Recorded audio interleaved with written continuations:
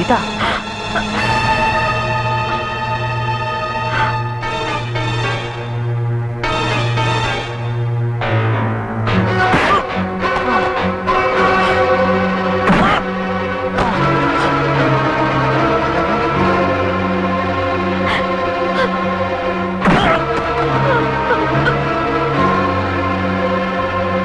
ఇంకోసారి నువ్వు ఈ చుట్టుపక్కల కనపడ్డా కూడా నిన్ను చంపేస్తాను.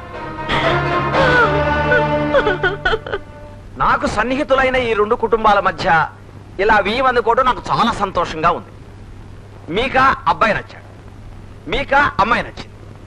ఇక మంచి రోజు చూసి ముహూర్తాలు పెట్టి నేనే స్వయంగా పెళ్ళి దగ్గరుండి జరిపిస్తాను. అలాగేరా. ఈ ఇష్ట ప్రకారమే గాని. Then it is done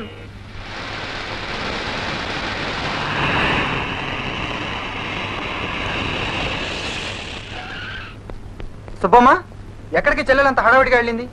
ఓరో phone చేసినారు బాబు. రాజుని హాస్పిటల్లో చేర్పించినారు. తీసి అమ్మాయి గారితో చెప్పండి అన్నారండి. నాన్న అమ్మాయి గారితో చెప్పినాను బాబు. అంతే ఆ అమ్మాయి గారు కారు తీసుకుని హడావిడిగా వెళ్ళిపోనారు బాబు. వీడికి చేసిన శాస్తి చాలేదన్నమాట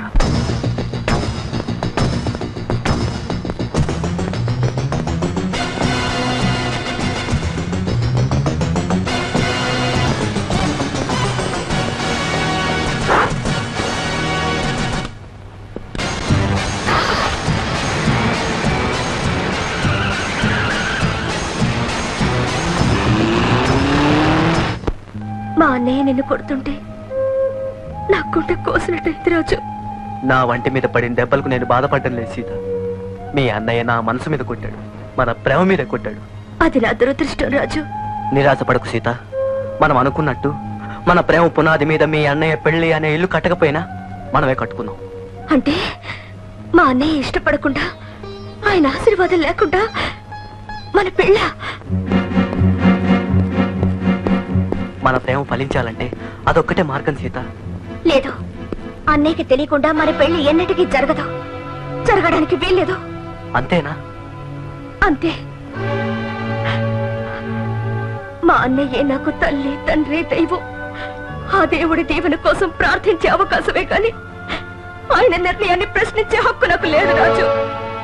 పెళ్ళి బిడ్డలు సంసారం ఏమీ లేకపోయినా సరే కన్నెగా సమాధి అయిపోయినా సరే ఈ బ్రతుకే కన్నీటి కథగా మిగిలిపోయినా సరే అన్నయ్యకి ఇష్టం లేని పనికి నేను ఒప్పుకోలేను రాజు ఒప్పుకోలేను.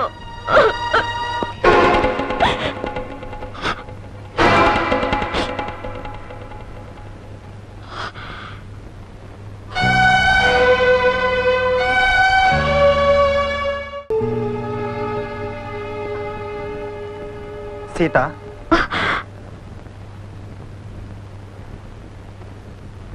ఏమిటన్నయ్యా?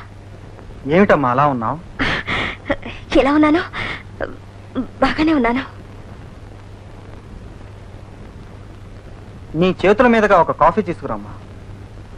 అలాగే అన్నయ్య.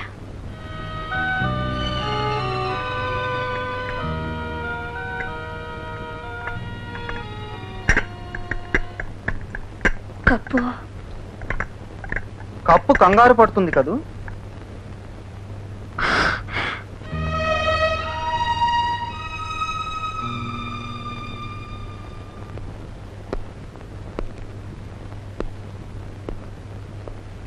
ఏమిటి? అక్కడ కొట్టింది చాలక? మళ్ళీ ఇక్కడికి దండయాత్రకు వచ్చావా? లేదండి. చేసిన తప్పుకు క్షమాపణ చెప్పుకోవటానికి వచ్చాను. చావబాది క్షమాపణ చెప్తావా? కట్టు కట్టించుకోవడానికి డబ్బిచ్చి చేతులు దులుపుకుంటావా? అదేం కాదండి. మనసిచ్చి పుచ్చుకున్న వాళ్ళను కలపటానికి వచ్చాను. అంటే? మా చెల్లెల్ని మీ రాజుకిచ్చి చేసుకోమని అడగటానికి వచ్చాను. నీతో వియ్యమా? ఇది ఏదో నాటకం అవుతాయా మనం ఎక్కడ కేసు పెడతామని ముందు జాగ్రత్తగా ఈ పెళ్ళి నాటకం ఆడుతున్నాడు. నాటకం కాదు జీవితం. నా చెల్లెలు రాజును అంతగా ప్రేమించిందని తెలుసుంటే కాళ్ళు కడిగి కన్యాదానం చేయవలసిన చేతులతో రాజును కొట్టేవాణ్ణి కాదు. రాజు నన్ను క్షమించి నా చెల్లెల్ని పెళ్ళి చేసుకో. దాని కలల్ని నిజం చెయ్యి. అందితే జుట్టు అందకపోతే కాళ్ళు. ఈ డబ్బున వాళ్ళ మాటలు నమ్మకూడదమ్మా. మీకు నమ్మకం కలగటానికి ఏం చేయమంటారో చెప్పండి. చేస్తాను. నీ ఆస్తిలో సగం. రాజు పేరున రాయాలి. పిన్ని తప్పే ఉంది రాజు. మీ పిన్ని గారు చెప్పినట్టే చేద్దాం. పెద్ద మనసుతో పెళ్ళి కొప్పుకున్నారు. అంతే చాలు. రవి ఆస్తిలో సగమేమిటి నా చెల్లెల కోసం ఆస్తి మొత్తం రాసిమ్మన్నా రాసిస్తాను. సరే. ముందు రిజిస్టర్ అది పూర్తి చేసి ముహూర్తం పెట్టించు. రాజు రేపు మంచి రోజు. ఉదయం ఒకసారి ఇంటికి వస్తావా? తప్పకుండా వస్తాను.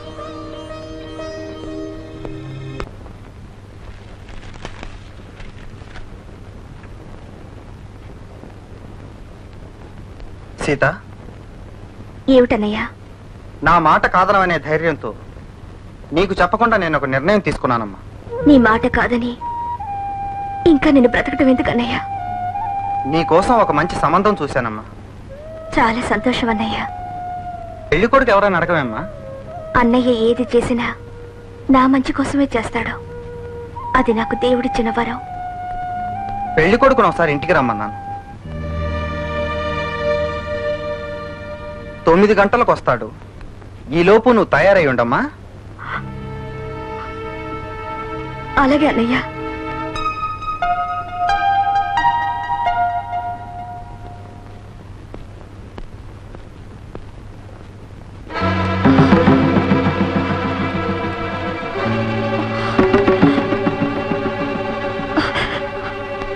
నువ్వెందుకు వచ్చావు? వెళ్ళు నీకు దండం పెడతాను. ప్లీజ్. ఇదేమిటి? అన్న రమ్మనటం చెల్లెలు పొమ్మనటం. ఇదే మర్యాద. అన్నయ్య రమ్మన్నాడా? అవునమ్మా నేనే రమ్మన్నాను. ఎవరో పెళ్ళి కొడుకుని రమ్మని చెప్పావుగా ఇతనేనమ్మా పెళ్ళి కొడుకు.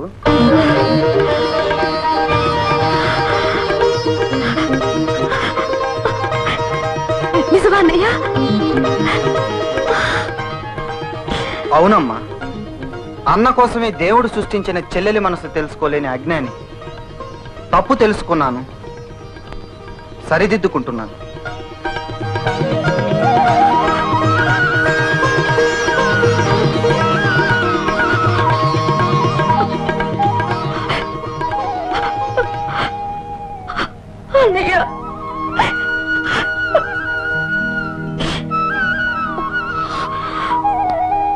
కానీ నేను పెళ్ళి చేసుకోను. ఏమ్మా? పెళ్ళి నువ్వు చేసుకుంటేనే నేను చేసుకుంటాను. నేను చేసుకుంటాను. కానీ ముందు నీ పెళ్ళి చేసి తరువాత. కాదు నా పెళ్ళితో పాటు నీ పెళ్ళి అదే ముహూర్తానికి జరగాలి. లేకపోతే నువ్వేదో వంక పెట్టి టలాయిస్తావు ఓకే. అలాగే నీ పెళ్ళితో పాటే నేను చేసుకుంటాను. కానీ పిల్ల? పిల్లని నేను చూస్తాను. ఓకే.